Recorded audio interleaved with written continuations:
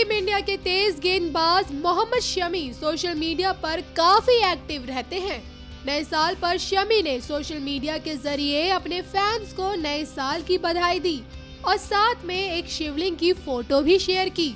शमी के इस फ़ोटो पर उनके फैंस की भी मिली जुली प्रतिक्रिया आई।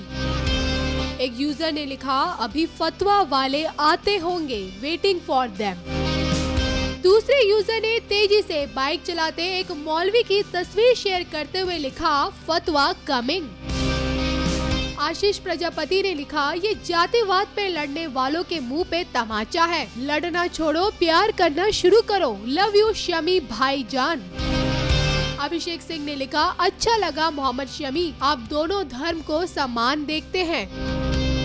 वहीं दूसरी तरफ़ सबदार खान ने लिखा, सुधर जा वरना बर्बाद हो जाएगा। अल्लाह तुझे कर देगा।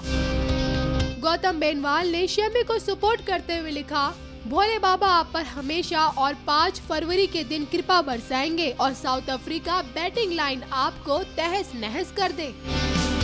फैजल खान ने भी शमी को ट्रोल करते हुए लिखा, न्यू ईयर तुम्हें ही मुबारक हो। मैं एक मुसलमान हूँ और मेरा न्यू ईयर मोहर्रम से शुरू होता है।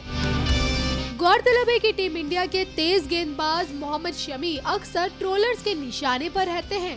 खास तौर पर ट्रोलर्स उन्हें मुस्लिम होने की वजह से ट्रोल करते हैं। लेकिन शमी इसके बाद भी वही करते हैं जो उन्हें करना होता है। न्यूज़ एक्सप्रेस की रिपोर्ट।